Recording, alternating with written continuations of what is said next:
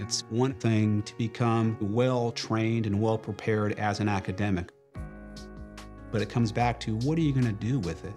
How are you going to practically apply what you've learned and make a difference in your life, in the world, or in the organization? I grew up in Yuma, Arizona. I was raised by a single mother. She actually had me her sophomore year in college and graduated on time.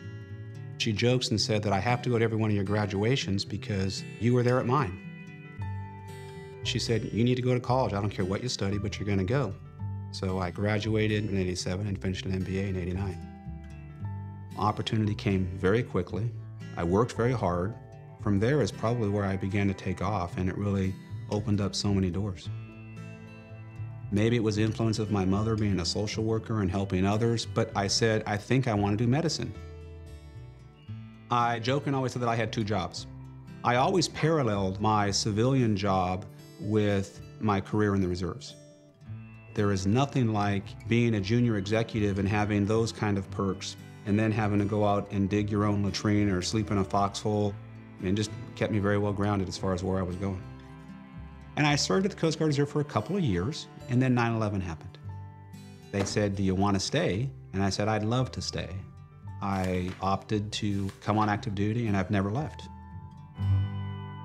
I'm a commander in the United States Coast Guard. I'm in charge of planning those missions that requires health service support for all of the things the Coast Guard does throughout the world. On average, we're saving 55 lives every single day. And I get to take care of wonderful people, men and women who are doing wonderful things for the nation. I am an avid pilot. I own an airplane. I fly my plane, which happens to be in my backyard.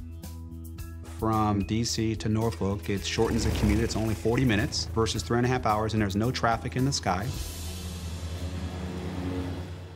I sought to get a doctorate in healthcare because I wanted to learn more about health policy.